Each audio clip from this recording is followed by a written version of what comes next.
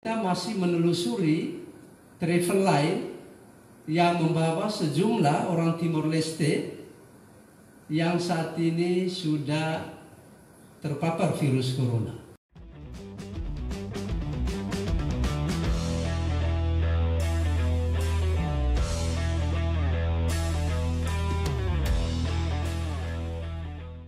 Terkait dengan Bapak Presiden dalam frase yang kedua, pelacakan secara agresif terhadap dugaan kontak dekat orang terhadap uh, yang terkena dengan COVID-19.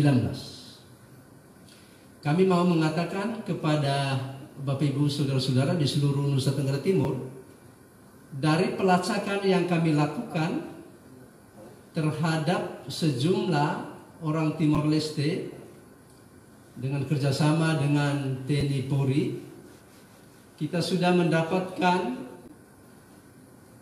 driver atau sopir yang membawa kurang lebih tujuh orang anak mahasiswa dari Timor Leste.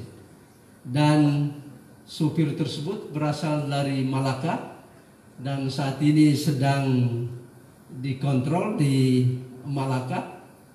Dan menurut penjelasan Dr. Valens dari Malaka kepada kami setelah diadakan uh, diskusi dengan sopir itu ternyata yang dia bawa adalah mahasiswa Timor Leste yang berasal dari Yogyakarta dan waktu itu berangkat dari Kupang tanggal 3 April tanggal 3 April dan tidak menyinggahi Keva untuk makan.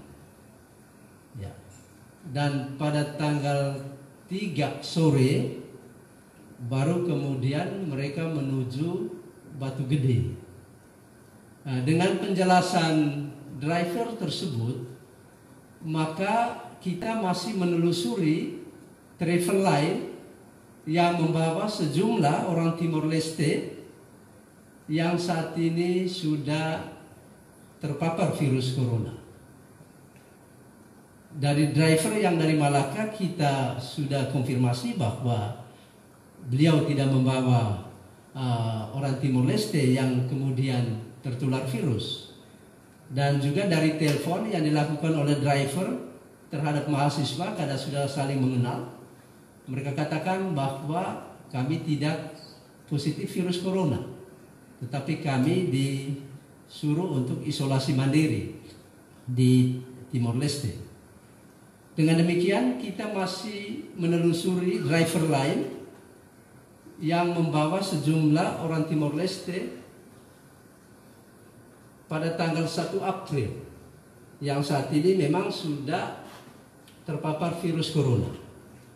Melalui media ini kami harapkan kejujuran dari para driver yang melayani penumpang dari Timor Leste yang berangkat tanggal 1 menuju Silaban lalu kemudian dari Silaban menuju Motain dan selanjutnya dari Motain ke Batu Gede dan meneruskan perjalanan ke Dili.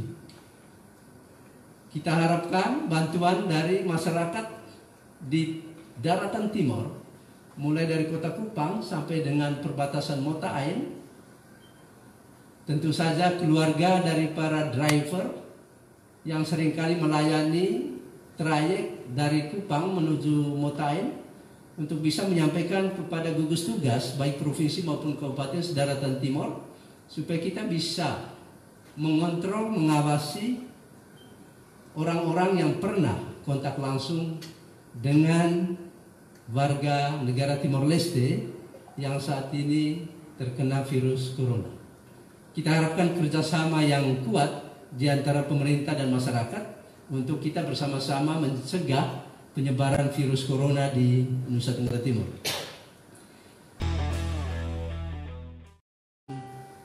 Pesan Bapak Gubernur dan Bapak Wakil Gubernur, yang pertama kita tetap mengikuti dengan cermat semua protokol kesehatan yang sudah ditetapkan oleh Organisasi Kesehatan Dunia WHO juga oleh pemerintah pusat pemerintah provinsi dan kabupaten kota seluruh Nusa Tenggara Timur.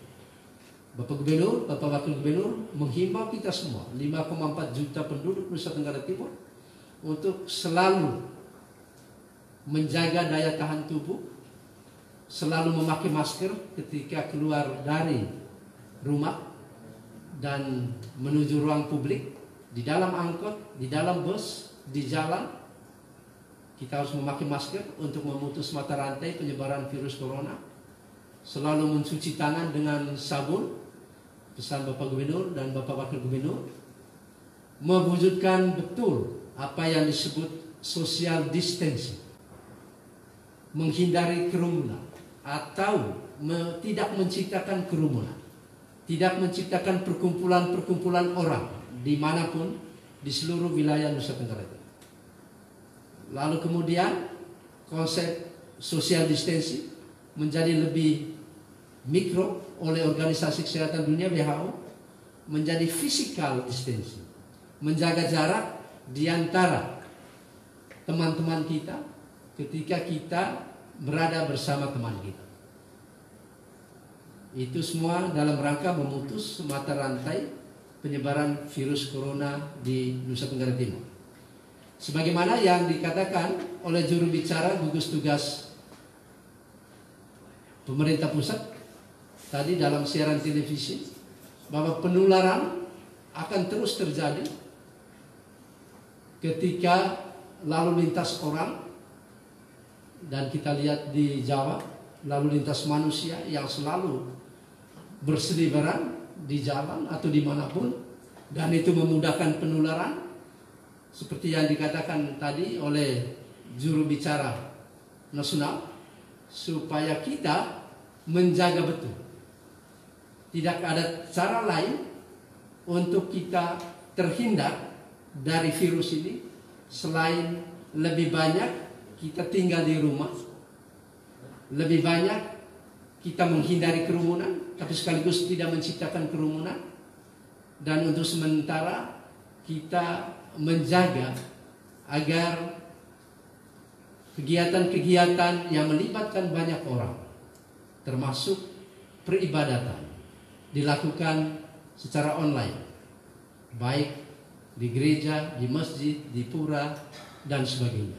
Ini semua dalam rangka memutus mata rantai penyebaran virus corona di Indonesia, tentu termasuk di Nusa Tenggara Timur. Pesan Bapak Gubernur dan Bapak Wakil Gubernur, walaupun di Nusa Tenggara Timur eskalasi penyebaran virus corona belum signifikan, dan baru satu yang tertular virus. Tetapi kita harus tetap menjaga jangan sampai ada lagi tambahan saudara-saudara kita yang tertular virus corona.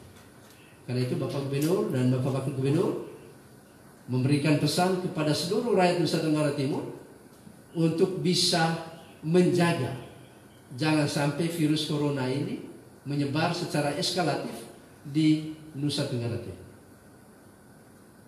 Karena itu Bapak Gubernur, Bapak Wakil Gubernur mengharapkan sekali lagi saya sampaikan supaya kita mengikuti dengan baik protokol-protokol kesehatan. Bapak Gubernur, Bapak Wakil Gubernur juga memberikan apresiasi kepada asosiasi, kepada organisasi sosial, kepada universitas atau lembaga apa pun yang membantu sesama. Baik logistik kesehatan, alat pelindung diri, masker, dan sebagainya, termasuk sembako. Bapak Gubernur, Bapak Wakil Gubernur menyampaikan terima kasih kepada organisasi-organisasi sosial, termasuk universitas, yang dengan caranya masing-masing membagi solidaritas kemanusiaan kepada satu dengan yang lain. Dan juga tadi Bapak Presiden menyampaikan kepada kita semua supaya budaya gotong royong yang sangat terkenal di Indonesia supaya diimplementasikan secara baik pada saat bangsa ini didera oleh bencana kemanusiaan yang merupakan bencana internasional virus corona, Bapak Presiden dan juga Bapak Gubernur dan Bapak Wakil Gubernur mengharapkan supaya kita tetap bergandengan tangan, bekerja sama, saling solidar, saling membantu, saling memberi kekuatan, memberi harapan, tidak mengucilkan saudara-saudara kita yang kebetulan terkategori sebagai orang dalam pemantauan atau pasien dalam pengawasan ataupun yang tertular virus corona.